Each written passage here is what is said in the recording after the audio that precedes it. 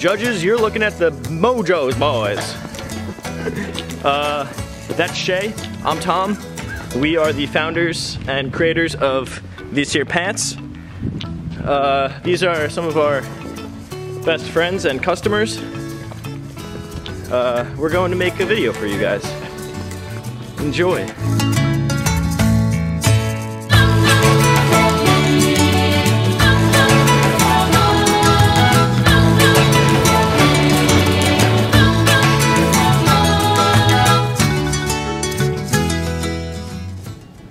Years ago, I found a pair of pants at a thrift store and I immediately loved them. They had a crazy pattern and a comfortable fit, and I couldn't find them anywhere else. So I started sewing and I made them myself. Shay and I saw tremendous business potential in these pants, so we went out and we bought a used home sewer and set up shop in our sophomore dorm room. We have learned a lot in our two years in on and off uh, production.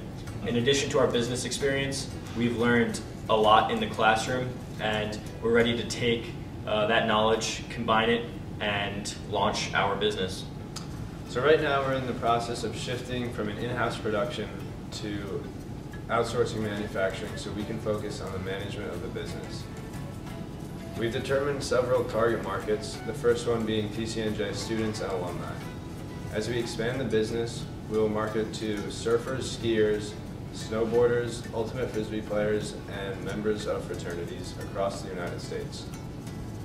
In order to reach these target customers, we've developed a marketing plan that utilizes traditional and innovative strategies to get at these customers, from social media to um, to newer media like daily vlogs, uh, to pop-up shops, and um, a road trip where we sell pants out of a van. AKA the Tour de Pants. We love these pants. We have experienced firsthand that other people love these pants and we're ready to share them with the world. Thank you. Thank you. You should say thank you too. Thank you. Thank you. Thank you. Thanks.